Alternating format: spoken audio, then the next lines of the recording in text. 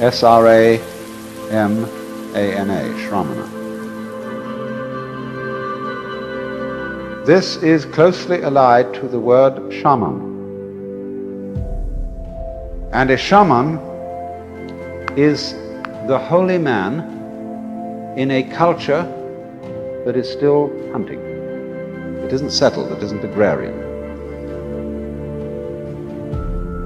There is a very strong and important difference between a shaman and a priest.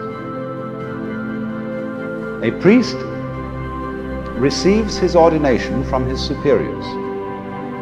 He receives something from a tradition which is handed down. A shaman doesn't.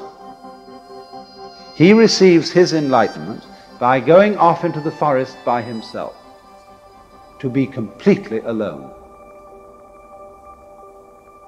A shaman is a man, in other words, who has undergone solitariness.